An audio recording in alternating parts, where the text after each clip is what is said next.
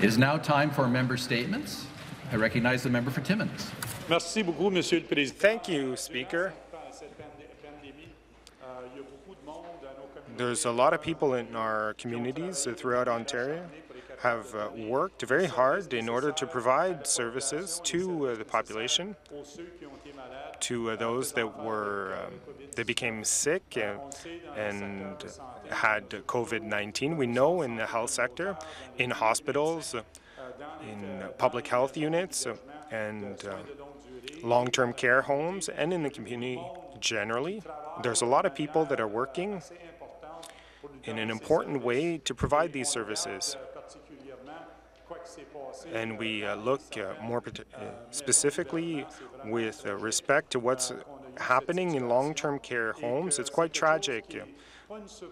This situation was not a surpri surprise. If uh, people have been paying attention to the House for a long time, uh, they would know that we've raised the issue of uh, how many hours of care those residents are entitled to. If we're going to provide uh, changes in the system, I think that these changes have to be done in collaboration with everyone in this House and with the population.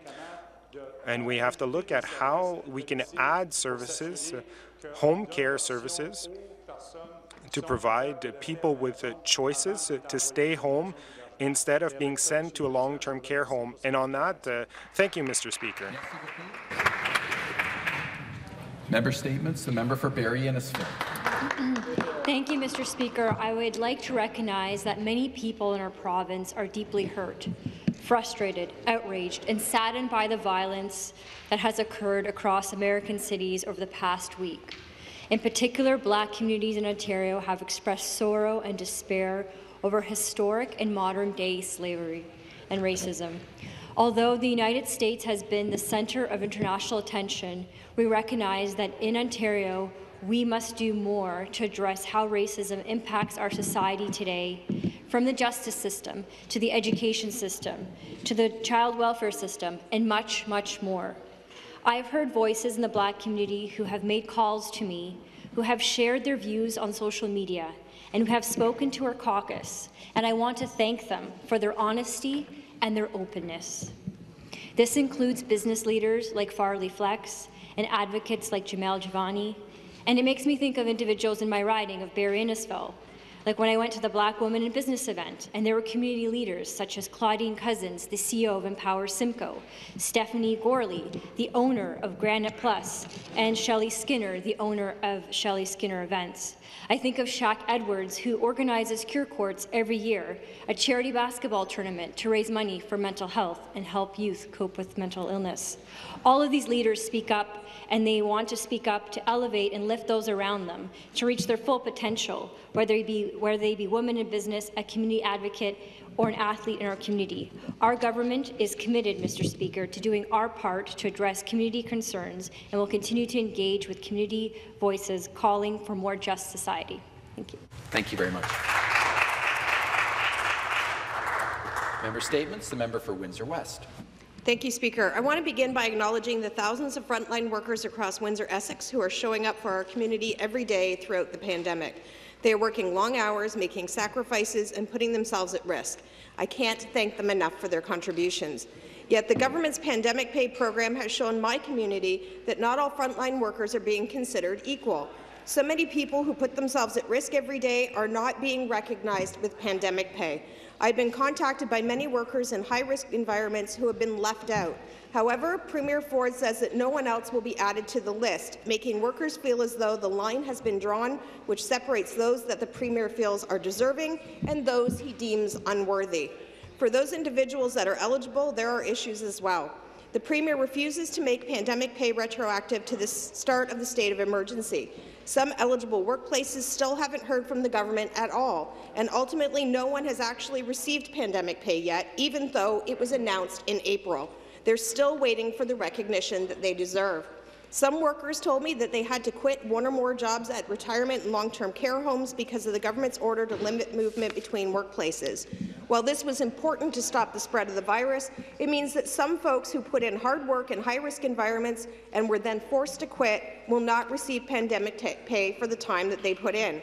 The bottom line is that, the, uh, that Premier Ford continues to call frontline workers heroes, yet he's excluding people and delaying the recognition they deserve. Worse yet, many of these workers were already underpaid part-time employees cobbling together an income through several jobs before the pandemic. This Conservative government did nothing to help them then, and they're failing to help them now. These workers deserve so much better. Thank you. Member statements. The member for Mississauga Malton. Mr. Speaker, Mr. Speaker, global pandemic has challenged all of us. Our life has become has come to a grinding halt. Many people have lost their lives, more have become sick, even more have lost their jobs and livelihood.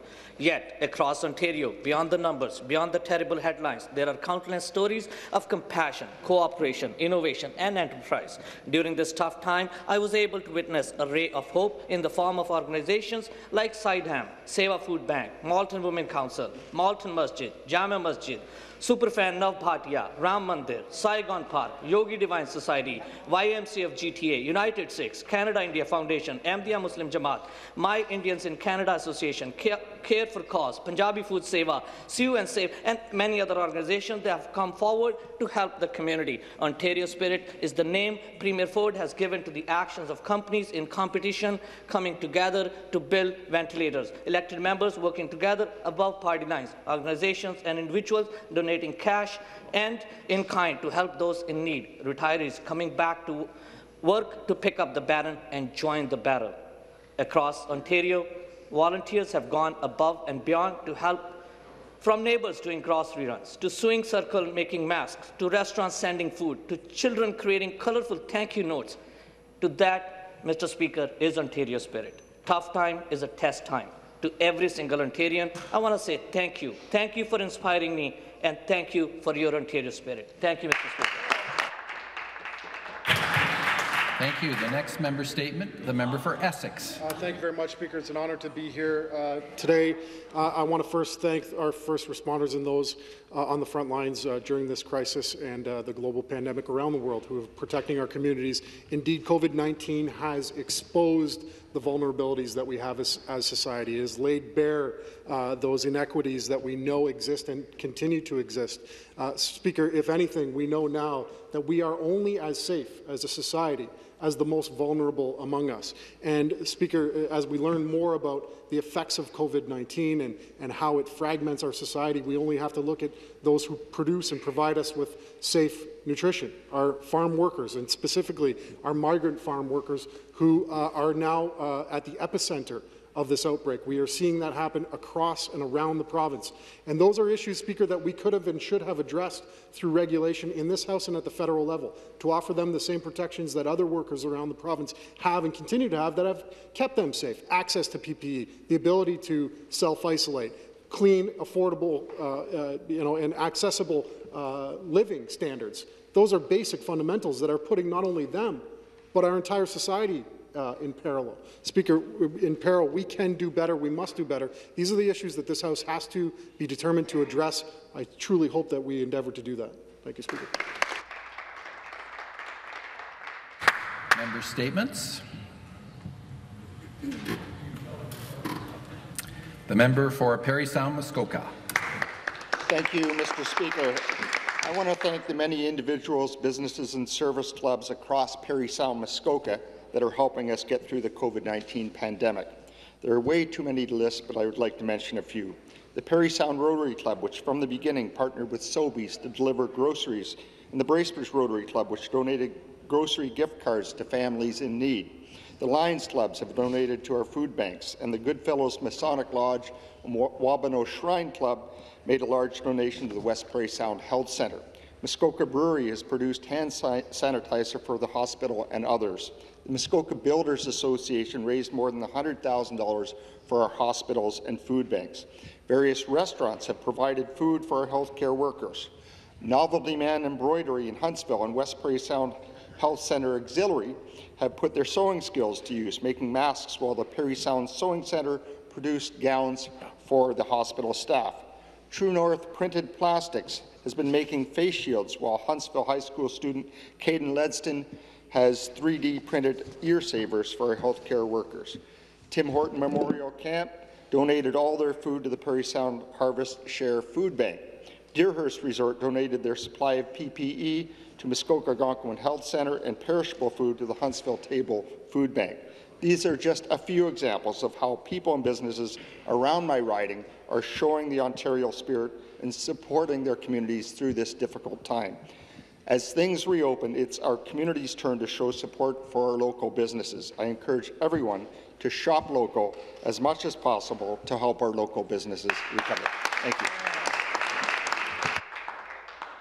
you. Thank you very much. Member statements. The member for Hamilton Mountain. Uh, thank you, Speaker. During this pandemic, I have heard from many small business owners in my riding of Hamilton Mountain. They all did the right thing and closed down during COVID-19, but now they're afraid that their businesses won't survive this pandemic.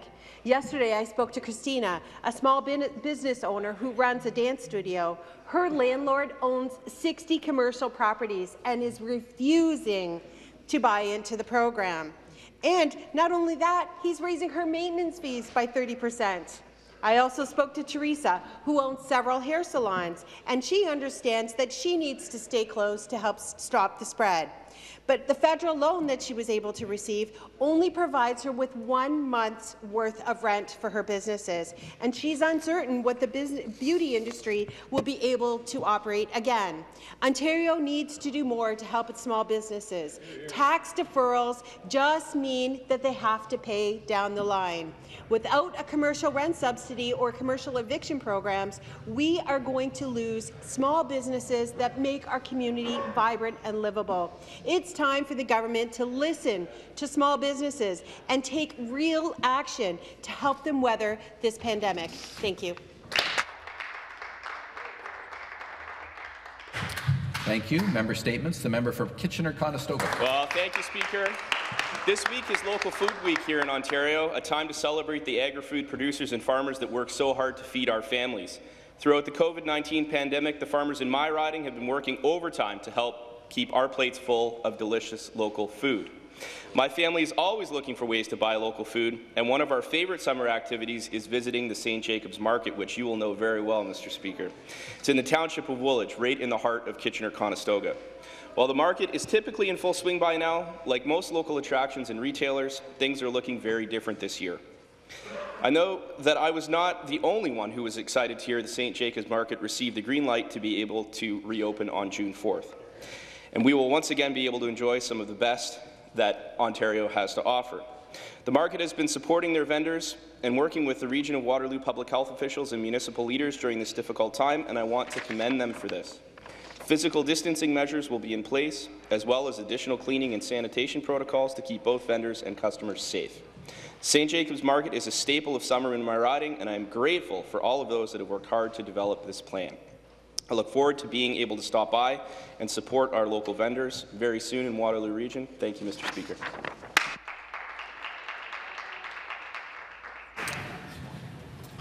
Great. Member for Orléans. Uh, merci, Monsieur le Président. Thank you, Mr. President. I would like to tell you how proud I am of the essential workers who are strong and resilient. Every day I'm inspired by their kindness and their dedication to help each other. The meeting for the elders of Ottawa continued in that effort by offering an activity for the elders. It's an example that is remarkable. We're using technology to improve ties among population. The Eastern Ottawa Community Resource Centre provide vulnerable families with the support they need every day and especially during this recent crisis. The recent Together Apart virtual concert saw thousands of residents come together online to enjoy local music and raise valuable awareness and money for these important community organizations. And finally, Mr. Speaker, the events of this last week have cast a dark cloud across our community, both here in, the, uh, in Ontario and across uh, Uh, North America. But in that darkness, I continue to be inspired by the work of local sports organizations like the Orleans Bengals Football Club. Their outreach programs have been recognized by both mental health advocates and municipal leaders for the positive impact they have in the community. The Bengals are now putting the focus of these efforts to combating race racism. leading the way to eradicate racism amongst our youth before it takes root by embracing diversity, inclusivity, and love. I want to thank them for their community leadership and ask everyone to be a Bengal, not a bully. Thank you. Member statements. The member for Oakville. Thank you, Mr. Speaker. And uh, we know these are, are very difficult times for everybody, and there are shining examples in the Oakville community of people doing great work, helping our community to those who need some help. And this needs to be recognized.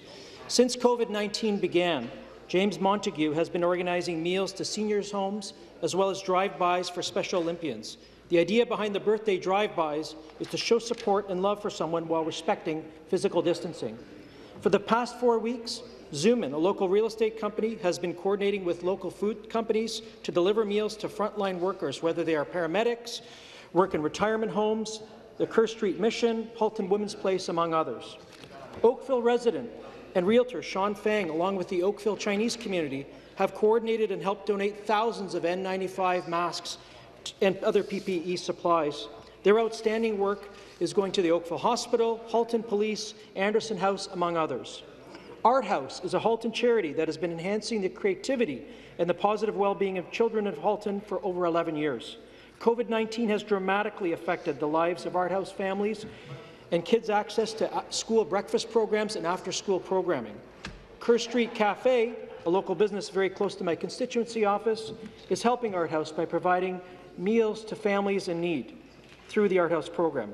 Finally, I'd like to also acknowledge there's actually an, an anonymous Oakville physician who's donated $200,000 to local food relief efforts. We should thank these people for all their great work. It's the Ontario spirit. Thank you very much. Thank you. That concludes our member statements for this morning. It is now time for oral questions, and I recognize the Leader of Her Majesty's Loyal Opposition, Thank you, Speaker. Before I begin my first question to the Premier, I think it's important to acknowledge the pain and anger and anguish and frustration that are, is unfolding around uh, the United States as well as around the world with the murder of uh, George Floyd and the protests against anti-black racism that are uh, everywhere, and also acknowledge the loss of uh, Regis Korchinski uh, Paquet, a young black woman with mental health issues that we lost last week, hoping her family can get the answers that they deserve. Uh, Speaker, earlier this morning I spoke spoke with yet another family coping with devastating loss following the death of a loved one in our broken long-term care system, this time at Royal Rose Place in Welland. Tammy Kutu wasn't informed that her grandmother had contracted COVID-19 until hours before her death. Like thousands of others, Tammy is demanding answers. The Premier has not only refused to call an independent judicial inquiry, but last week, Tammy learned the government maintains a list of high-risk red homes, but refuses to tell families which homes are on it. Will the Premier tell Tammy today Question. whether the home where her grandmother died was on that list? To respond on behalf of the government, the Minister of Long-Term Care. Thank you, Speaker, and, and thank you for the question. Our government has been clear that our number one priority is to the residents and long-term care staff in homes that are affected. The well-being and safety of residents and the staff is a commitment of our government. Fighting fiercely against COVID-19, we have taken tool and measures on an ongoing basis, and we've acted swiftly to assess and make sure our homes are protected as much as possible. We have done that. The red homes are a priority, and we work with Ontario Health, our Ontario uh, public health system, uh, hospitals, the emergency um, teams that are going in on an ongoing basis to help our long-term care home staff. This is, Response? we have a sense of urgency, and that's exactly what we've been doing all along. And our government is transparent. Thank you. The supplementary question. Thank you, Speaker. My supplementary is also to the Premier. This weekend, families in Vaughan were shocked to learn about a COVID-19 outbreak at the Woodbridge Vista Care Facility, care community, a long-term care facility that was operated by the same corporation currently facing lawsuits following the Armed Forces report into extreme neglect at their Altamont facility. Staff at Woodbridge Vista say they have no confidence in the management's ability to handle the crisis. They're pleading with the government to take control of this facility. The Premier thus far has refused. Will the Premier tell staff and families of residents of Woodbridge, Woodbridge Vista facility whether that home is on the government's secret list of high-risk red homes? Minister of Long-Term Care. Thank you, Speaker, and thank you for your important question. When we look and assess the homes, there are many eyes to determine how we are going to help these homes. It is a collaborative effort that we use. When the process is taking a very long time for the homes to be able to stop the, uh, stop the uh, spread of COVID and contain COVID. When it's taking longer than, than we anticipate, that is a moment in time where we determine it is necessary to have a um, mandatory management order. We've worked with hospitals to help with that. Uh, this is a collaborative effort, but when it comes right down to it, our government has said everything is on the table. We will do what is necessary to shore up these homes. And I've said before that COVID-19 has a devastating impact on long-term care homes, and we've taken measure after measure and used all tools Response? possible to address this, and we will continue to do that to help our homes and our residents and staff. The final supplementary. Uh, well, Speaker, my final supplementary is also to the Premier. Last week, the Premier said this, and I quote, you deserve to know what I know as Premier. That's what he said. You deserve to know what I know as Premier. But the reality for thousands of families is that they've been left in the dark. They're unable to visit their loved ones, unable to get basic information about what's going on inside the homes where their loved ones reside. The government has refused to commit to an independent judicial inquiry, and now they're refusing to even reveal which homes are dangerously unsafe. Why is the government so unwilling to expose the failures inside these for-profit facilities? Minister of Long-Term Care. Thank you, Speaker, and thank you for the question. Our, our number one priority is the safety and well-being of our residents in long-term care and the staff and their families. It is a guiding principle that we have consistently adhered to during this whole process. This is a war with COVID-19. There is no doubt, globally, nationwide, and in our province. And in terms of you know, how we address issues with licensees. You know, an application to change a licensee on any home is looked at with rigor. We address those issues. And a independent commission will allow us to be moving and advancing the needs of long-term care residents and their families Response? and staff. Communication is a key part of this, and the homes that have come in uh, and had assistance with hospitals are doing much better with that. Thank you. The next question, once again, the Leader of the Opposition. Thank you, Speaker. My next question is also for the Premier, but I would have to say that nothing at all that has happened in terms of oversight of long-term care for decades in this province has been done with rigour. Nothing has been done with rigour. The government's own website says that the Residential Quality Inspection, or an RQI, is a comprehensive, unannounced, systematic and detailed review because they are unannounced, private care home providers can't sweep problems under the rug when the inspector, inspectors arrive. Last year, they only completed nine, nine RQI inspections, nine inspections for 626 long-term care homes. This government knew, well, by the way, in 2020, this government has conducted zero thus far, zero RQI inspections in, in 2020. This government knew in January the potential for this Question. virus to hit our long-term care homes and knew it was a big possibility. Why did they not complete a single RQI inspection in long-term care leading up to the pandemic? Minister of Long-Term Care. Thank you, Speaker, and thank you for the question. There is need for absolute clarity in terms of the inspections.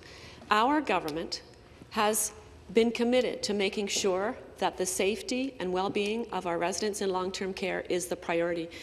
And our ministry conducted almost 3,000 inspections. These were not uh, um, uh, notified inspections. These were random inspections. We've had public health risk assessments of all the homes. We've public health goes in and does food inspections and kitchen inspections. Our hospitals have done IPAC assessments. we are making sure that many eyes are on these homes. And we also anticipated that with the coming of COVID. Uh, we knew that we needed to take action to make sure that Response? we had as much support for these homes as possible, and that's exactly what we did. And supplementary question. My supplementary is back to the Premier, Speaker. The government has had a secret list of which are the most problem-plagued homes in the province. The former government called them high risk. And as we know, this government calls their secret list red homes. They knew which homes were the most at risk for problems, but they still didn't do an annual RQI inspection in them. We're still in the first three months of the year. They did nothing, nothing at all to prepare these so-called red homes for the pandemic. They didn't stockpile PPE. They didn't certainly ensure that they had hired enough staff. Does the Premier still think it's unacceptable that his government didn't conduct a single comprehensive resident quality inspection of long-term care homes in the crucial months leading up to the COVID-19 pandemic? Mr. Long-Term Care. Thank you, Speaker, and thank you for the question. To be absolutely clear, there were almost 3,000 inspections. There were annual inspections. There were public health assessments. There were IPAC, or Infection Prevention and Control assessments. There were ongoing assessments. Looking at how we could maintain the safety of people going into the homes was paramount. And we were working with Public Health Ontario, Ontario Health, Ontario Health teams, looking at how we could make sure that our homes were supported. So this is something that's been ongoing. COVID-19 requires us to adapt quickly and to be responsive and sometimes to adapt our processes, which is what we've had to do. And we've done it consistently in anticipation. And so to say that February 3rd with guidance, March 11th with essential visitors, uh, active screening, Response? all the efforts that we've made in terms of protecting our homes, it's been ongoing, it's been swift, and it's been decisive. We need to be absolutely accurate on this information. Final supplementary.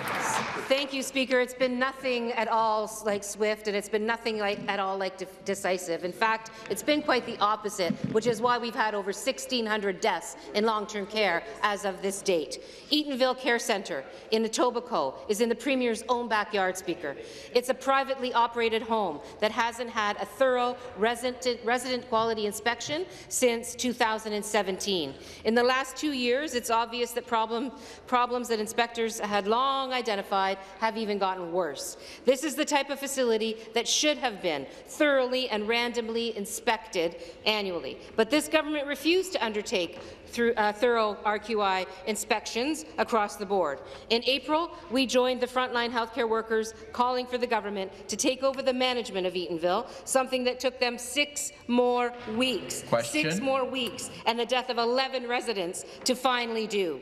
Why did the government fail to inspect and handle the serious COVID-19 outbreak at the Eatonville facility? Thank you. Minister of Long-Term Care to reply. Thank you, Speaker, and thank you for the question. Our government is committed to the safety and well-being of residents. There have been almost 3,000 inspections. There have been annual inspections. There are public health assessments. There are food inspections. These are ongoing, and many eyes have been on these homes, which is exactly why we took the measures that we did to bring in the Canadian Armed Forces, understanding that these homes were under siege by COVID-19. This was, leading up to this point, it was also a collaborative approach to make sure that our staff in our long-term care homes had the support that we could provide. But above and beyond that, COVID-19 was taking a toll. And that is why we moved decisively to bring in the armed forces at our home's time of need and the province's time of need. And that's Response. what we did. Eatonville has been supported. Trillium Hospital is in there, has been for weeks. And this will continue. The mandatory management orders will be ongoing until we can get these stabilized. Thank you. The next question, Once again, the Leader of the Opposition. Thank you, Speaker. My next question is also for the Premier, but I have to say this government has been very slow and very indecisive. If the homes were under siege by COVID-19 and the siege was successful, it was because this government did not protect the vulnerable resident, residents in long-term care. The Rose of Sharon Care Korean uh, long-term care home has been a vital provider of care and the only facility in the province dedicated to the Korean community. They haven't had a single case of COVID-19 infection, which is why the community is worried. The government has received an application to transfer ownership of the home to Rykka, one of the for-profit private providers who operate two of the worst infected homes in the province at Eatonville and Hawthorne Place. Will the government do the right thing and stop any transfers of licenses of long-term care facilities to private or profit operators during this pandemic? Minister of Long-Term Care. Thank you, Speaker. As I've said numerous times, our government has taken swift action and decisive action for our homes and used every measure and every tool possible. In terms of the, the, the case that you're mentioning, an application to change the licensee on this home has been received by the Ministry of Long-Term Care. But a change of licensee goes through a rigorous examination, and that will be the case in this situation. No final decision has been made, but let me assure this House that all considerations will be examined. And I want to take an opportunity to say that many of our homes have managed heroically during this pandemic that has affected long-term care homes across the globe with devastation that is unprecedented. And 70% of our homes right now are not in outbreak. Response. And we're moving in a direction of support and improvement. And I hope that all of you will collaborate to support our long-term care homes and help them get what they need. Supplementary question. Speaker, this is my final supplementary that would make eight questions. I'm hoping the Premier can answer this one. The community has reason to be worried, Speaker. Things are so bad at Eatonville and uh, that the military actually had to be called in to try to save residents after countless people died and many more were infected by COVID-19. The community, the community doesn't want to see a private for-profit operator with a record of COVID outbreak to take over. They don't want to see that happen to their home. There should be no expansion for for-profit long-term care homes during this crisis, and there should be no expansion of for-profit long-term care until all inquiries and all investigations are completed in this province. Will the government stand with the Korean community and refuse to transfer the license of the Rose of Sharon facility to this for-profit agency? Minister of Long-Term Care. Thank you, Speaker. As I said, a rigorous examination of this issue will be ongoing. We will make sure that it is a thoughtful process and, uh, and adheres to what is required for this home and for the residents. The safety and well-being of residents and staff is our government's number one priority. And that's exactly why we've been working across the board with Public Health, Ontario Health, Ontario Health Teams, a, a integrated system to make sure that the, the well-being is supported of, of our homes. No doubt, the homes have been struggling, some of them. But if we look at the data, resident cases are at the lowest number since April 6, 15th. Staff cases are at the lowest point since April 20th. And as of May 31st, there were 19 homes in red. And in the first week of May, there were 34 homes. So we are making substantial progress. This, these efforts must be ongoing, and I hope that you will be part of the solution. Please be part of the solution. Order. Member for Stormont, Dundas, South Glengarry. Thank you, Speaker. My question is to the Premier. Premier, I'm proud of our government's prudent, scientific-based approach when it comes to handling this pandemic.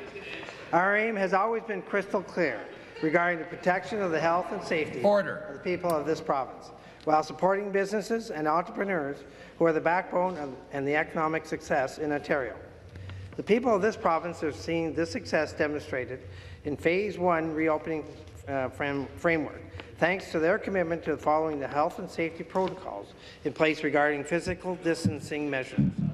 Speaker, could the Premier please share with the Legislature what new operations our government has announced to allow our constituents to enjoy the outdoors while staying safe and practicing physical distancing. Order. Premier. Member from Stormont Dundas, South Glengarry for, for the question. As our, he's one of the hardest working members, and, and thank you for that. Our, our, province continues to fight the spread of this disease, and we, we have seen real positive results. We've seen positive results on the expanded testing, on the tracing, making sure that the public is informed. And I got to thank the 14.5 million people in this province that have cooperated, listened to the protocols of the Chief Medical Officer of Health, and that's what allowed us to look at stage two, about regional opening across this province. And we're, we're going to come up with uh, some answers for that over the next few days, but the number one priority is to make sure that the people of this province stay healthy. And we're going to base that on health and science. We aren't going to base it on people out there saying open up or people Response? protesting outside saying open everything up because it wouldn't be safe, Mr. Speaker. We're going to do the safe, responsible thing. Listen to the medical professionals, listen to the health team. That's how we're going to open up. Thank you. The supplementary question. Thank you. And Premier, this is great news. And I know that many of my constituents, along with the rest of Ontario, are ha very happy to hear about the more and more operations restarting. The ability to see a movie with the family or practice batting skills once again is a positive activity that many of my constituents greatly appreciate. Further, providing more and more outdoor options for people, especially as the days become longer and the weather becomes warmer, is great for people wanting to get some exercise. So, Speaker, can the Premier please share with the Legislature about the potential next steps our government would consider for potential phase two reopening of the economy and the province as we move forward? Thank you. Premier. Th thank you from our, our member. As, as we've consistently stated, any decision will be based on science and, and health. Further, I'm not prepared to take unnecessary risks when it comes to health and safety. But because of the strength of our new testing program in place and encouraging results, we are now comfortable with asking our officials to look at a regional approach for staged openings. This will be op one option we consider as we move to stage two. This is one option that we're putting on the table. And we're only able to do this now because we're getting great testing results. We're expanding it right across the province. We're looking at hotspots, Mr. Speaker, areas in the uh, GTA and even parts of Toronto. Bonds? Because there's a tale of two, two provinces here. There's the rural area that we haven't seen the spread, and then there's the urban area that we've seen the spread. So we're going to do the responsible thing and listen to our health professionals. Thank you. Next question, the member for Essex. Thank you very much, Speaker. My question is to the Premier. Speaker, last week the Premier indicated that he was going to get tough with private for-profit long-term care operators. Yet at the same time, he revealed that James Schlegel, the CEO of Schlegel Villages Inc., a private for-profit long-term care chain, was a key member of the Premier's Incident Management System long-term care table. Through his various corporations, Mr. Schlegel has donated upwards of $50,000 to the PC Party since 2007. This includes a donation of $20,000 to the Minister of Health's leadership bid. Does the Premier think that it is appropriate for one of his most generous party donors with a stake in private, for-profit, long-term care to have this important role?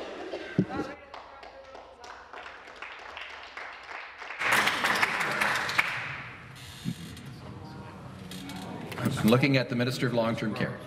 Thank you, Speaker. The, this pandemic Shameful. has hit homes of every type of ownership. We know that the capacity in our long-term care homes was at 99 percent. It was a long-standing issue.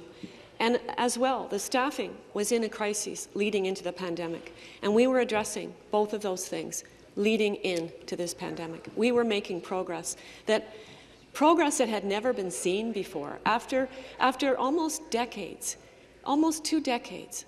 And many of you sit here and you were in a position to make those changes in order. as, as official as opposition come to order. Opposition supporting the Liberal government of the time. And so, and so, let us deal, let us deal with facts. Let us deal with the truth. We Response? know that wardrooms play an issue. They are an issue in this. Our capacity was an issue, the staffing, and also regional, looking at where the outbreaks. Thank you. The supplementary question. Thank you, Speaker. Uh, among other things, the table that Mr. Schlegel sits at is tasked with making decisions about staffing, access to personal protective equipment, and oversight of long-term care homes, including the ones that Mr. Schlegel owns and operates. Speaker, the Premier has not invited any nurses or frontline staff onto this decision-making group, even though their leadership and insights have saved countless lives throughout this crisis. They're good enough to work in these places, but not good enough to offer their expertise to make these places better. Speaker, I heard the long-term care minister say that everything is on the table. But of course, with this government, not everybody is at that table. Why has this Premier made a space at the table for prominent PC donors who, who own some of the very homes that he makes decisions Question. About? The Minister of Long-Term Care. It is no secret that the Ministry of Long-Term Care has consulted across the board to understand the issues that were so badly neglected for many years. We, we say Ontarians have questions, and we want to answer those questions. Our, our long-term care sector and those that work on the front lines, they Member for also Essex, come to order. have information that is helpful to us. We need to understand from all corners Here, come to order. what we can do to improve Leader of the Opposition, the come to order. situation. We need Windsor West, come to order. and we need to acknowledge and we need to find solutions. And that's going to take all of us. The problems in long-term care are bigger than Taking care of who doing Stop the clock. Minister of Long-Term Care will take, their, take her seat, please. Stop the clock. Member for Essex will come to order. The Premier will come to order.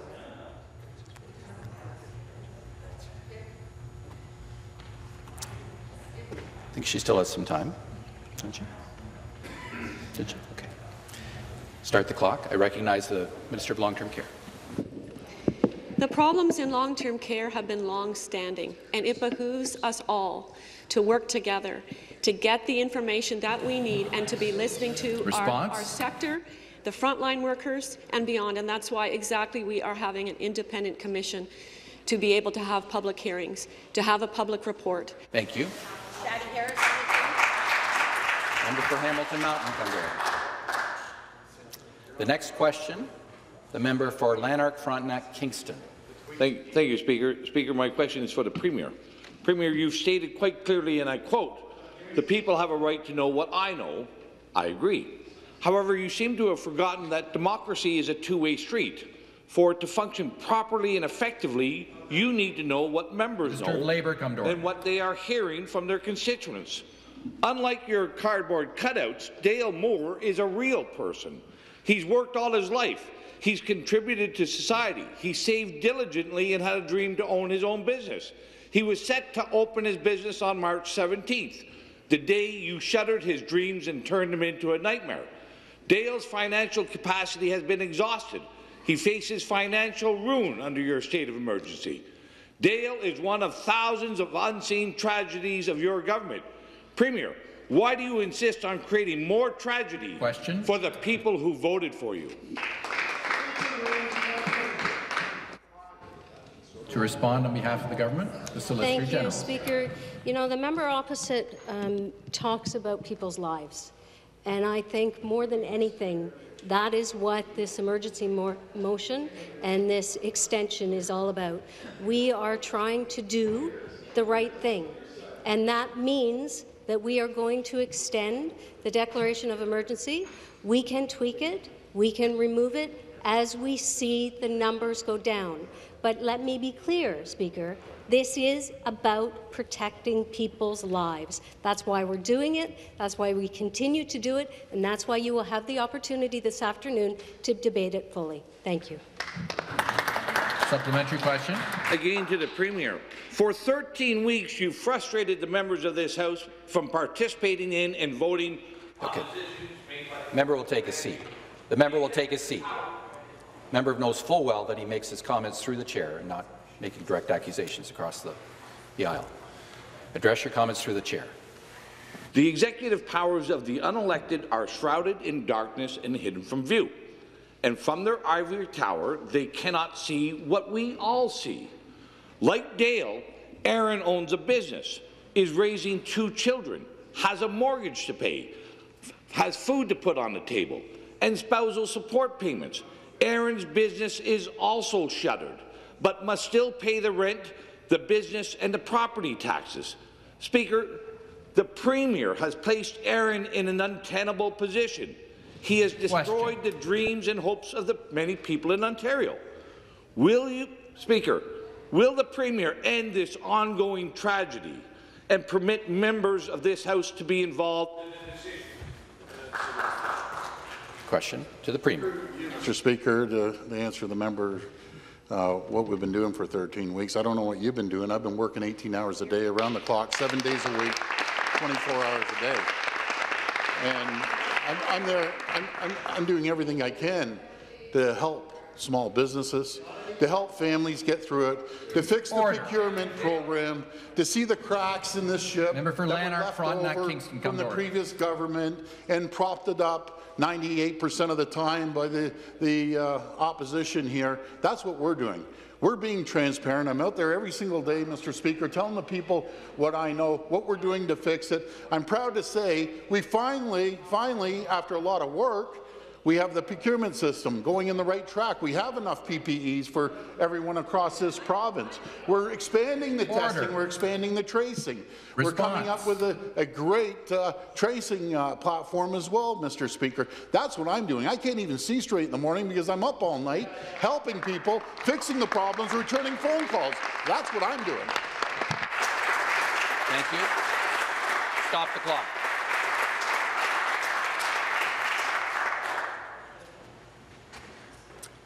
Start the clock. The next question, the member for Don Valley East. Thank you very much, Mr. Speaker. Mr. Speaker, my question today is to the Premier.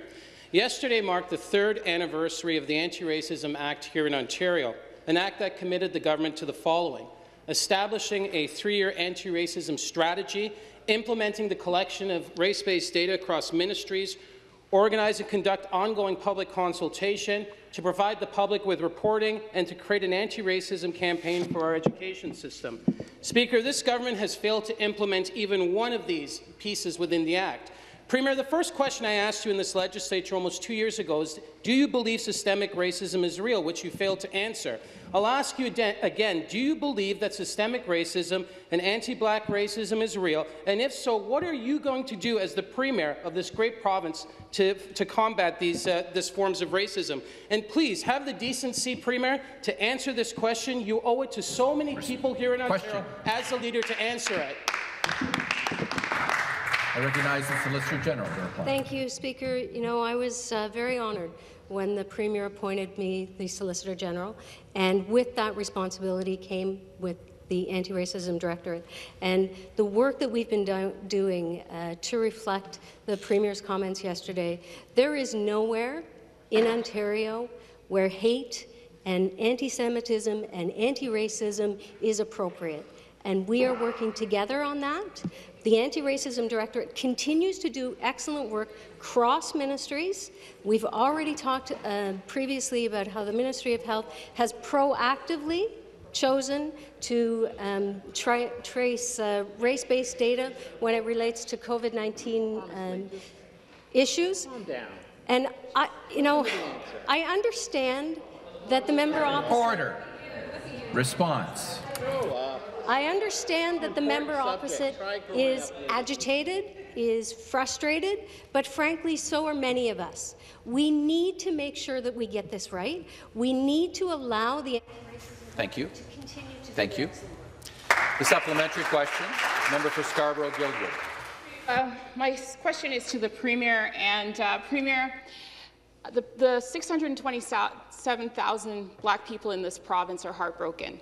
We've all seen the images of George Floyd and how just devastating it is, who died on the streets at the hands of being detained and restrained by police. Incidents of racism happen in Ontario, in this province. Years ago in Scarborough, Patrick Shand was restrained by a security guard, and he too said, I can't breathe. And moments later, he stopped struggling and he, he died. A coroner's inquest did change the laws here in Ontario and provided additional training for security guards. My question, Premier, is that Indigenous, Black, people of colour want to live in this province, not just appropriately, but actually free from racism. It's their right. They want the full enjoyment of all the systems in education, in justice, in society, in the economy. Question. They want to know that their children will not die at the hands of police or anyone else. So my question to you, Premier, right now, will you tell the people of this province that you are going to be taking concrete steps to eliminate anti-black racism and racism in all its forms in this province and restore full funding to the Anti-Racism Directorate and the Black Youth Act. Thank you very much. Premier, to reply. For you, Mr. Speaker, what we saw down in the United States, what happened to Mr. Floyd, was nothing but disgusting what, what happened.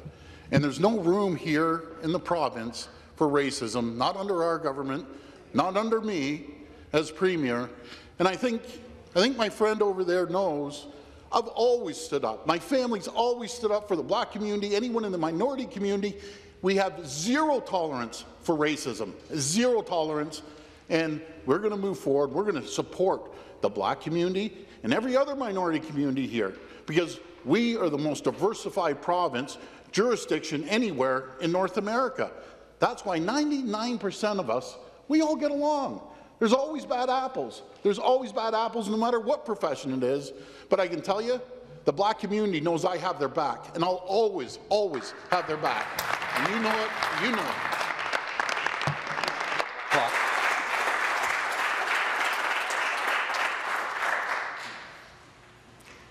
Restart the clock. The next question, the member for Brampton Centre. Brampton North. Thank you, Mr. Speaker. My question is to the Premier.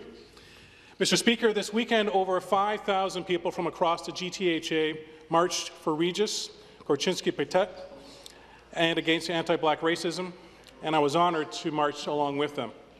They know that Ms. Korchinski Paquet's death is not an isolated incident, but part of a pattern of black deaths that includes D'Andre Campbell in Brampton and countless others. And they are calling for an independent investigation into Regis's death because people do not trust that the SIU in its current form will bring justice to her family and the community. Mr. Speaker, how will the Premier ensure an independent public investigation and justice for Regis when his government refused to adopt the core recommendations from Justice Tulloch's report and has removed measures to make the SIU more transparent and accountable. Mr. Solicitor General. Thank you. No, I, I completely understand why family, friends, and community are wanting answers and are demanding answers, and they have every right to do that. But I will not make assumptions and jump to conclusions. We need to let the independent SIU do their job.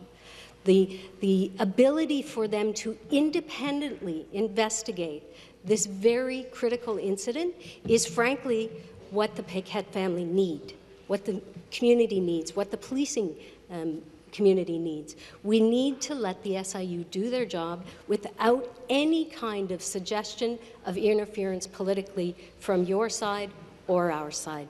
Please allow the SIU to do that independent work now so that we can have the answers that the family deserves and we need to know.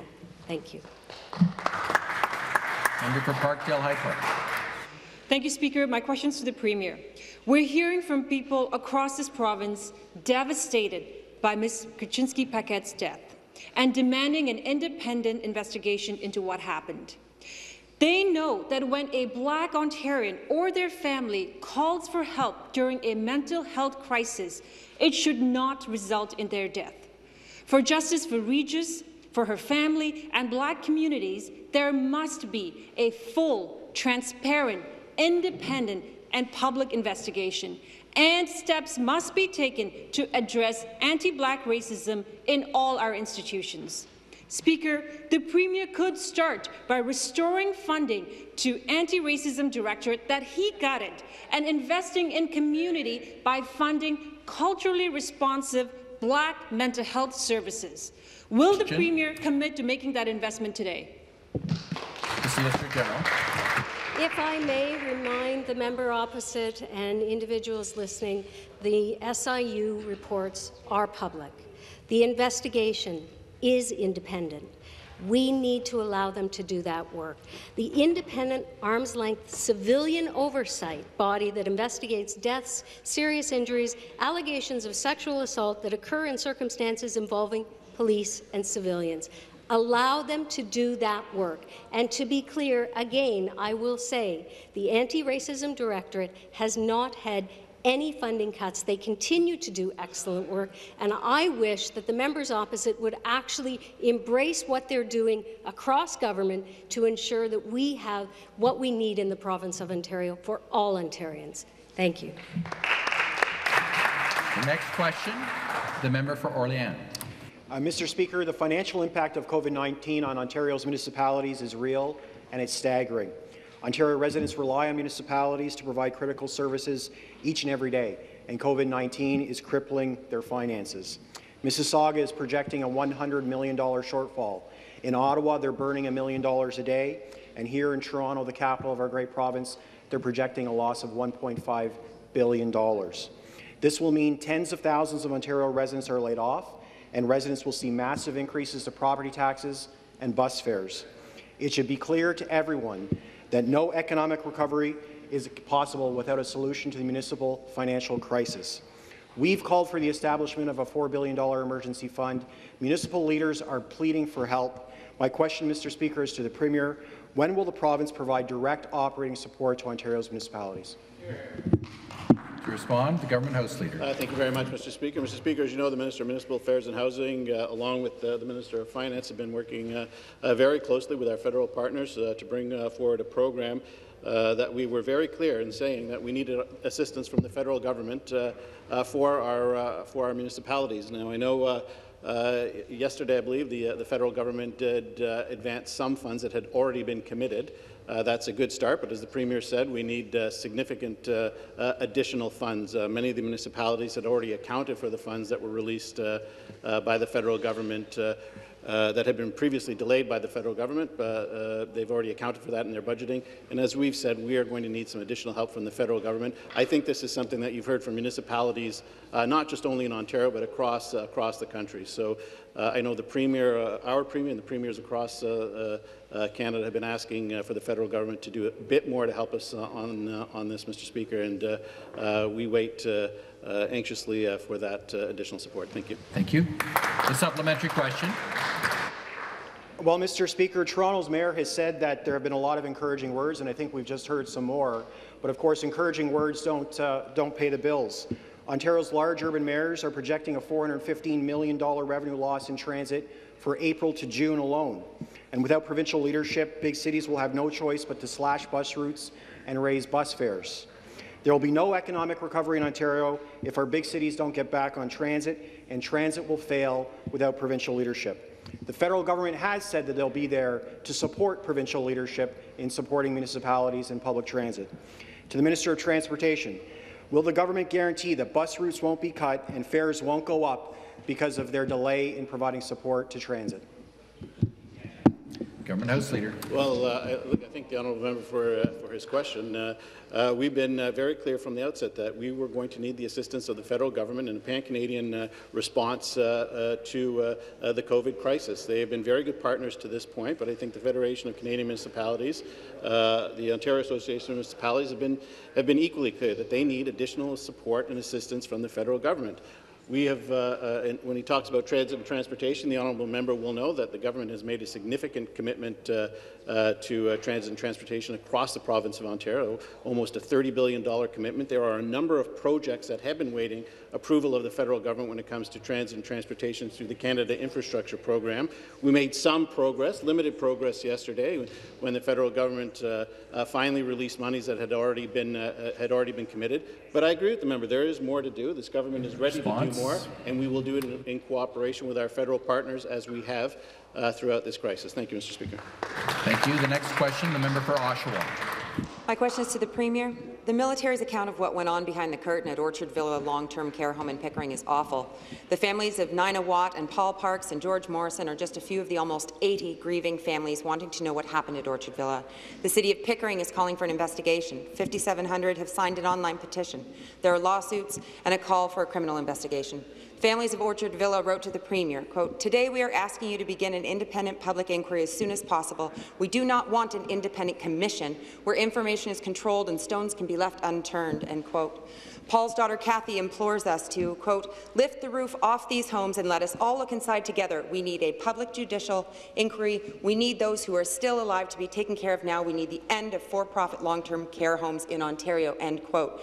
Will the Premier abandon his commission and launch a real public inquiry to lift the roof off of long-term care homes and let us all look inside together? Mr. Long-term care. Thank you, Speaker, and thank you for the question. I've said it before and I'll say it again. I am committed as the Minister of Long-Term Care. Our government is committed to transparency, and that is why an independent commission with public hearings, public input, a public report is absolutely critical to making sure that we get to the bottom of this. This is an expedient way forward. Our government had been making progress on addressing the redevelopment and the capacity issues in long-term care that had been so long coming, so ignored, so neglected for over a decade. And there are people in this chamber who sat and were supportive of the previous government's Response. Liberal government's neglect of this sector. We are transparent. We are moving forward. We will encourage public input. We will absolutely move Order. forward with a commission, an independent, nonpartisan commission. Order. Supplementary question, the member for Humber River, Black Creek. Speaker. He's the second. My question to the acting six. premier. The recent report on long-term care facilities by the Canadian Armed Forces revealed horrifying conditions experienced by vulnerable seniors in the midst of this pandemic. For months, the official opposition has been calling for the immediate takeover of all unsafe long-term care centres, and so the imminent takeover of Hawthorne Place in my riding is overdue but welcome. But it shouldn't have taken a horrifying military report for action. Following a conversation with North York General CEO and senior staff, I'm confident that they will bring immediate relief, but I am concerned that they are not being granted the scope or ability to publicly report on their findings to bring lasting change when they leave. Will this government commit to ensuring that the findings of all taken over LTCs are made public, and will they immediately move to take over all unsafe LTCs here in Ontario? The Minister of Long-Term Care. Thank you. Thank you, Speaker, and thank you for your question. And I want to make sure that all Ontarians know um, the loss of their loved ones must not be in vain. The problems plaguing long-term care for decades, it goes back decades. Now is the time that we can make a difference. All of us, collectively, everyone. We all have to contribute, and part of moving forward with the solutions is to understand the problem, and that's exactly what we're getting to the root of. The Canadian Armed Forces, I am tremendously grateful for them. They came in Ontario's time of need, when our homes were struggling.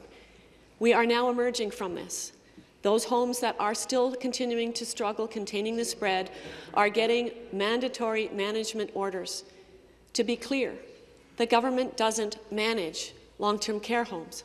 Response? We are getting assistance from hospitals. This is an integrated approach. We must use the expertise Order available, and we will continue to support our homes, our residents, our staff, and families. Thank you. Next question, the member for London North Centre. My question is to the Minister of Long-Term Care. Speaker, the good people of the Canadian Armed Forces confirmed what families and workers have known for ages. Our long-term care system is broken and seniors are suffering.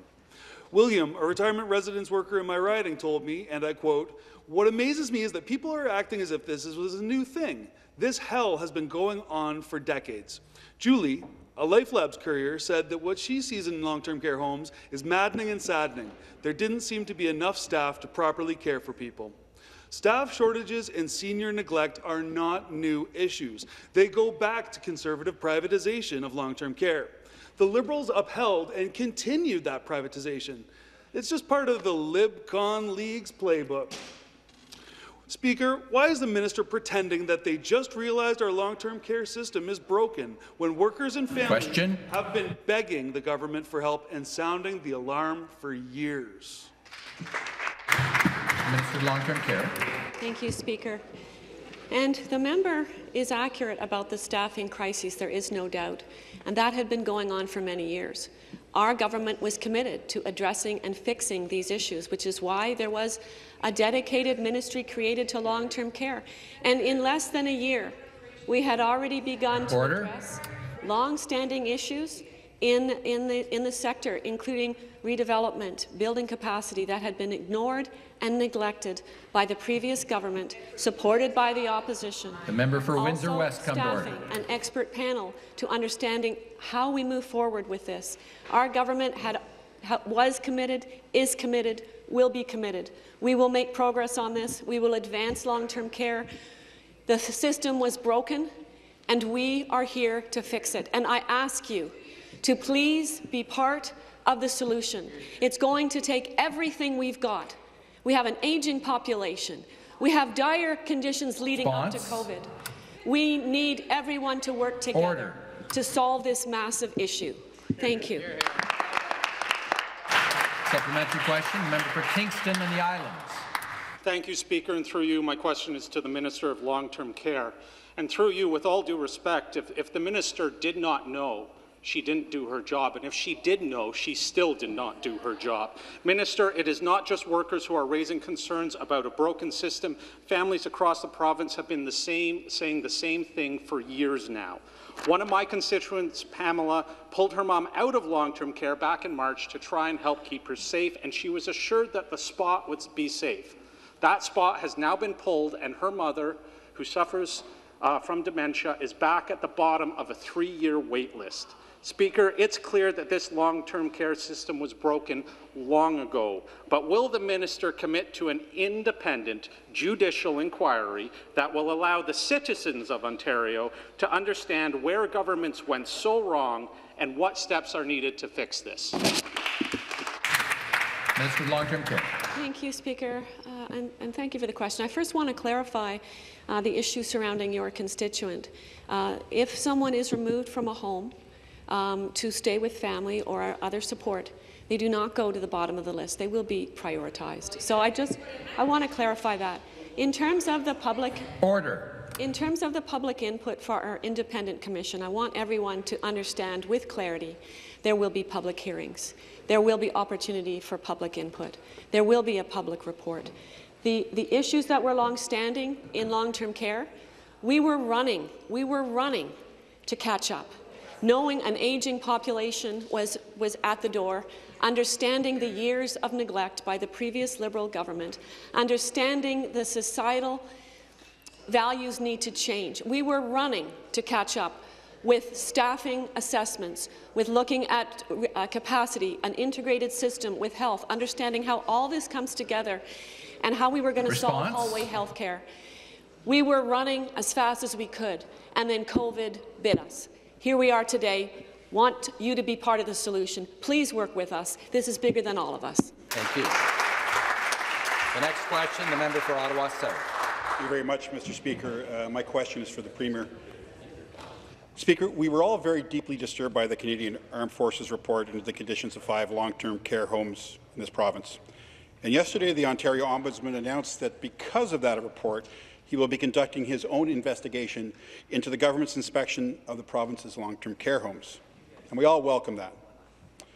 Speaker, through you, my question for the Premier is this. When did the Minister of Long-Term Care first make the Premier aware of these conditions in these five homes? And what led his government to ask for the help from the Canadian Armed Forces? Thank you. Questions to the Minister of Long-Term Care. Thank you, Speaker, and thank you for the question. The Ombudsman, the Ontario Ombudsman, is welcomed in this process of delving into what happened over, over a period of time, not only during the crisis, but leading up to that crisis. We're working with public health, Ontario Health, the Ontario Health teams, the Ministry of Health, Ministry of Labour, all across the board to understand how we could support our homes, looking at the integration that was necessary to do this. And I, I also look back on the years leading into this, and the, the member himself was the parliamentary assistant to the Ministry of Health and Long-Term Care uh, minister. So he would, he would have knowledge of all the existing issues and how the imperative was for our government Response. to fix those issues. We called in the Canadian Armed Forces when we knew that our homes had exhausted every other possibility and our support was exhausted. They needed help, and that's why we called. The supplementary question. Thank you, Speaker. Speaker, I'm trying to understand the sequence of events that informed the government's decision to call in the military. And Ontarians want to know that their parents and grandparents who are in long-term care homes don't have the same things happening there. So Ontario only inspected, fully inspected 9,626 long-term care homes last year, waited a month to raise the pay of the lowest paid workers in long-term care, waited a month to prevent workers from working in more than one long-term care home, allowing the disease to continue to spread, and then wasted tens of thousands of tests that could have been used in long-term care. So, Speaker, through you, what impact, if any, does the Premier believe these delays had in these five homes, and in fact, the dozens of homes with double-digit deaths across Ontario? Thank you. Minister of Long-Term Care. Thank you, Speaker, and thank you for the question. I think the delays were over 15 years, where the long-term care sector was neglected, where capacity was not built. Instead, instead, the government chose other priorities. It did not recognize the, the absolute devastation that would occur by ignoring the needs of our aging population. That was the previous government that did that. And we, the inspections, looking at the almost 3,000 inspections that we've had, as well as public health assessments, as well as Order. the RQIs, as well as all the different eyes that were on our homes to assess. We know that our government was active and decisive and making sure that every tool Order. and measure could be used. It is hard to make up. Thank you. The next question. The member for Parkdale High Park. Thank you, Speaker. My questions to the Premier. Yesterday was the first of the month. Once again, tenants who lost income during the pandemic are unable to pay their rent through no fault of their own. This government is allowing landlords to continue to threaten tenants with eviction during the pandemic. And as the province opens up, we can expect the Landlord and Tenant Board to resume eviction hearings soon as well. Tenants feel vulnerable and threatened. Will the Premier cancel all eviction notices due to the pandemic and deliver rent relief to make sure that hundreds and thousands of tenants don't lose their home? Government House Leader. Uh, Thank you very much, Mr. Speaker. Mr. Speaker, as you know, the, uh, the government has uh, been working again very closely with our, with our federal partners uh, on this, uh, this very issue, whether it's uh, uh, commercial rent relief uh, and indeed on, uh, on the residential side. Mr. Speaker, we hope to uh, uh, continue this close collaboration because ultimately we want to make sure that uh, not only are uh, uh, uh, residential and commercial tenants uh, protected, uh, but we, when we start to move out of, uh, uh, of the COVID uh, this COVID nightmare and back to opening up the economy. We want everybody to be able to, uh, to participate. Thank you very much, Mr. Speaker. Supplementary question. The member for Hamilton Mountain. Uh, thank you, Speaker. My question in, is, was to the Premier. Commercial tenants are being evicted because they did what the Premier ordered them to do and shut down during the pandemic. The commercial re rent relief program isn't working because it was left up to landlords to decide if they wanted to take a rent cut. Yesterday, British Columbia government announced a ban on commercial evictions and additional supports for commercial tenants who are not being able to be helped by the federal rent relief program. This Premier could do the same thing. Will he sit back and watch landlords shut down more businesses, or will he step up and support the NDP plan to save Main Street? Again, the government house uh, thank you very much, Mr. Speaker. Uh, as uh, the member will know, the Minister of Finance was uh, in front of the uh, uh, Standing Committee on Finance just yesterday and was asked this a very similar question to this, Mr. Speaker. And what he what he said, I'll reiterate what he said. Actually, he mentioned that the program was a little late in starting, and it was partly because of the, of the fact that our Minister of Finance was so aggressive in making sure that the program was made bigger, so that more people could participate in that program. Uh, but to suggest that it's not working when it's only been, uh, uh, I think, less than a week that it has, uh, has started, Mr. Speaker, I think uh, uh, is, is jumping the gun a little bit. Mr. Speaker, I'm very confident. We've heard that uh, there has been a very robust uptake on the program. Uh, the Minister of Finance said Order. yesterday that we will continue to monitor the program to make sure that uh, Response. That uh, tenants are Uh, our tenants are uh, protected, Mr. Speaker, because ultimately we want the economy to roar back so that it continue to be the engine of the Canadian economy. Thank you. Thank you. The next question, the member for Parry Sound Muskoka. Thank you, Mr. Speaker. My question is for the Attorney General. COVID-19 and the need to practice physical distancing has forced the suspension of most in-person court operations in Ontario. While absolutely necessary in order to protect the health and safety of our frontline workers and all Ontarians, it is critical that access to justice continues across the province during these challenging times. Can the Attorney General please tell this House what our government has done to ensure adjustments are made throughout the justice system to adopt to our new reality and stay operational during this public health emergency? Questions to the Attorney General. Thank you, Mr. Speaker, and thank you to the fantastic member from Parry Sound Muskoka who just has such a stellar job in his riding and, and, and around the province, Mr. Speaker. He's uh, look, we're working together with our justice partners. Nothing's more important than the health and, and well-being of Ontarians, and that stretches across the justice system and those who interact with it daily. Mr. Speaker, when the pandemic began, we worked right away. We got into it and we tried to minimize disruption as, as people needed to continue to access the system for a whole variety of needs. Look, we modernized the system 25 years and 25 days, Mr. Speaker. There is no question we moved quickly. We moved quickly with our justice partners. We moved quickly with the Solicitor General to make sure that we weren't transporting prisoners, that we were doing remote bail and, and remand uh, by video. We made commitments, financial commitments, $1.3 million, Mr. Speaker. Laptops, VPNs, digital recording Response? devices. I brought forward the legislative changes to conduct hearings virtually, Mr. Speaker. We've implemented e-filing capabilities, quick action to allow virtual witnessing of wills. We continue to do a lot of work, Mr. Speaker. Thank you. Your time for a supplementary question. Know that your commitment to updating Ontario's antiquated justice system predates the current public health emergency. But it's clear your office and your judiciary have been hard at work expediting the modernization of our justice system during this public emergency. Mr. Speaker, I know there are many people in my riding who are excited about the changes that have been made to allow for virtual and remote proceedings to streamline and move processes online. It is helping to make our justice system easier, faster, and more affordable for people to access. Can the Attorney General please tell this House if we can expect to see these positive steps Question. towards a justice system fit for the 21st century continue even after the public emergency has passed? The Attorney General. Thank you, Mr. Speaker.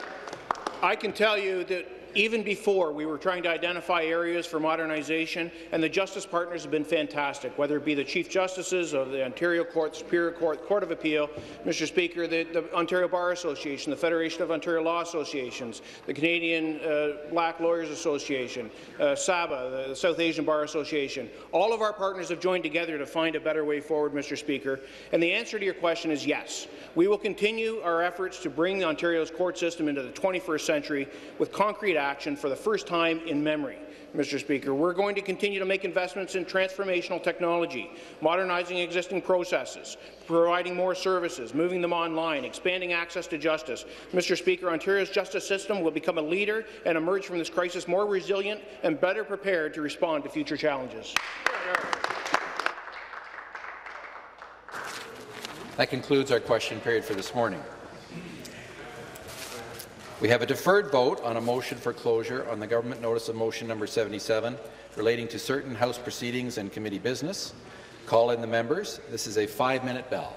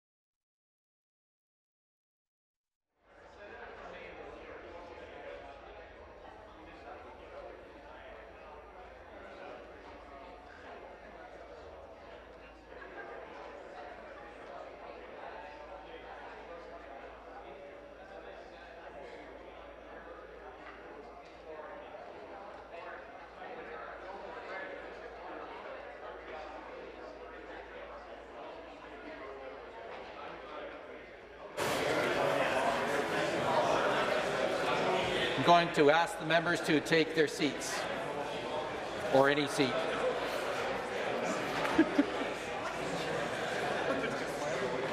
the members need to take their seats.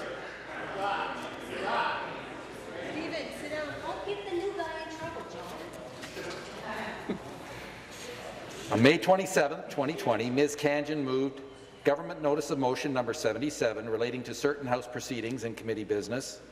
Mr. Thanigasalam has moved that the question now be put. All those in favour of Mr. Thanigasalam's motion will please rise one at a time and be recognized by the clerk. Ms. Jones. Mr. Calandra. Mr. Calandra. Ms. Elliott. Ms. Elliott. Ms. Fullerton. Ms. Fullerton. Mr. Smith Bay of Quinte. Mr. Smith Bay of Quinte. Mr. Yakabuski. Mr. Yakabuski. Mr. Fedeli. Mr. Fedeli. Mr. Walker. Mr. Walker. Ms. Thompson. Ms. Thompson. Mr. Sarkaria. Mr. Sarkaria. Mr. Downey. Mr. Downey. Mr. McNaught. Mr. McNaught. Mr. Lecce. Mr. Lecce. Ms. Khanjin. Ms. Khanjin. Mr. Rashid. Mr. Rashid. Mr. Coe. Mr. Coe. Mr. Crawford. Mr. Crawford. Mr. Miller Parry Sound Muskoka. Mr. Miller Parry Sound Muskoka. Mr. McDonell. Mr. McDonell. Mr. Harris. Mr. Harris. Mr. Anand. Mr. Anand. Mr. Parsa. Mr. Parsa. Mr. Bethlenfalvy. Mr. Bethlenfalvy. Mrs. Martow. Mrs. Martow. Mr. Kramp. Mr. Kramp. Ms. Surma. Ms. Surma. Mr. Phillips. Mr. Phillips. Mr. Clark. Mr. Clark. Mr. Cho Willowdale. Mr. Cho Willowdale. Mr. Cook. Mr. Cook. Ms. Hogarth. Ms. Hogarth. Ms. McKenna. Ms. McKenna. Mrs. Tangen. Mrs. Tangen. Ms. Scott. Ms. Scott. Mr. Sabawy. Mr. Sabawy. Mr. Nicholls. Mr. Nicholls. Ms. Skelly. Ms. Skelly. Mr. Gill. Mr. Gill. Ms. Dunlop. Ms. Dunlop. Mr. Bauman. Mr. Bauman. Mr. Smith, Peterborough Kawartha. Mr. Smith, Peterborough Kawartha. Mr. Babikian. Mr. Babikian. Ms. Triantafilopoulos. Ms. Triantafilopoulos. Mrs. Wai. Mrs. Wai. Mr. Bailey. Mr. Bailey. Mr. Pang. Mr. Pang. Mr. Sandhu. Mr. Sandhu. Mr. Kanapathi. Mr. Kanapathi. Mr. Cuzzetto. Mr. Cuzzetto. Mr. Oosterhoff. Mr. Oosterhoff. Mrs. Martin. Mrs. Martin. Mr. Piccini. Mr. Piccini. Mr. Sabolo. Mr. Sabolo. Mr. Tanigas. Mr. Thanigasalam.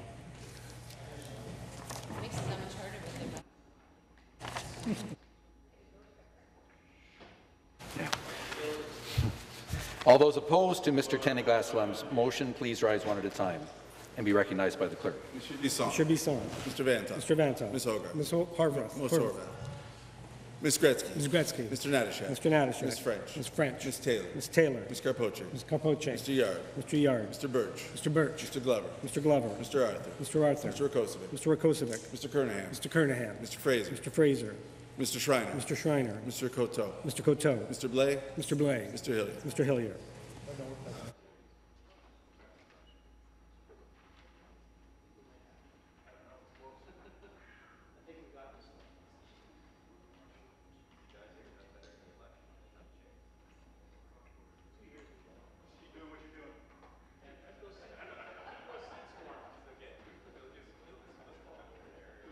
The ayes are 54, the nays are 19. The ayes being 54 and the nays being 19, I declare the motion carried.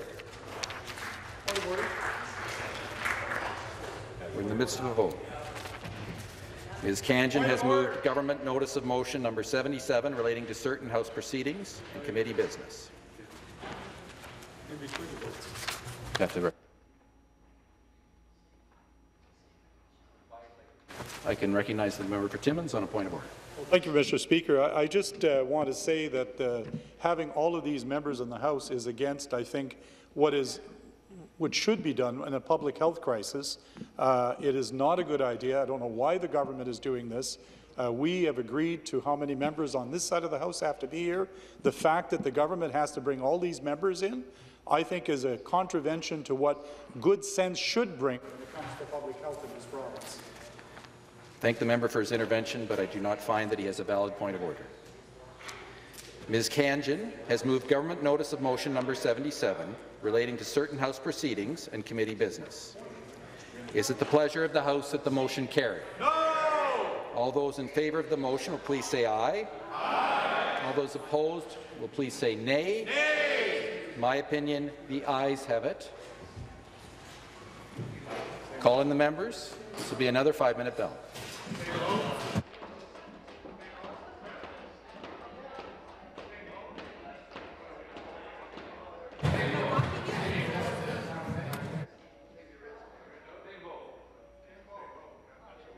Same vote? I heard a no.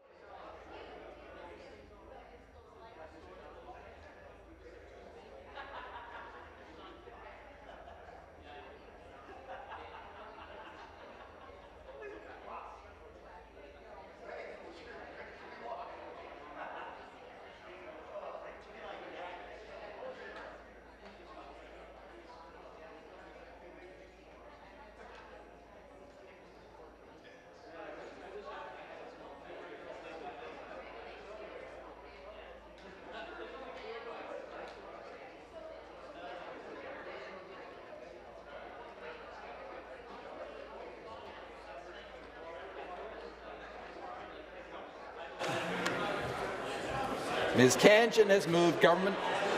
Okay, sorry. The members need to take their seats.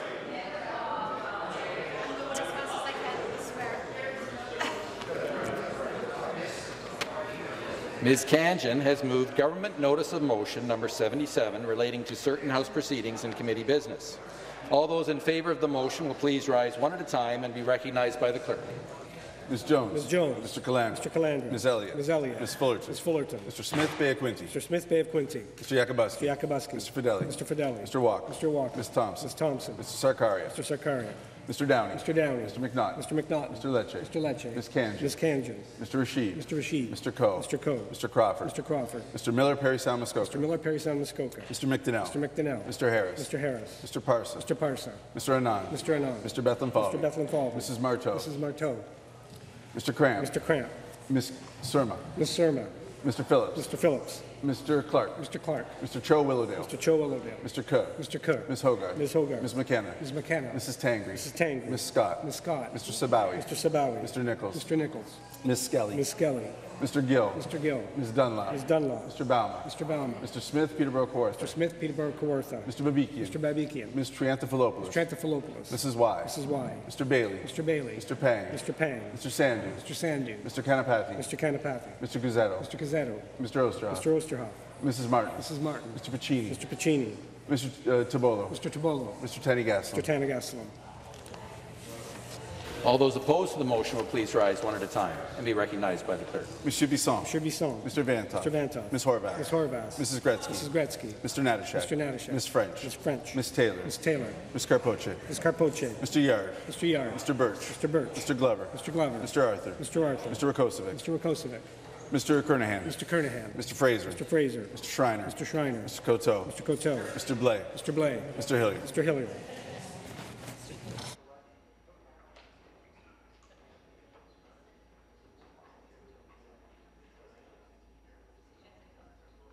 The ayes are 54, the nays are 19. The ayes being 54 and the nays being 19, I declare the motion carried. There being no further business, this House stands in recess until 1 p.m.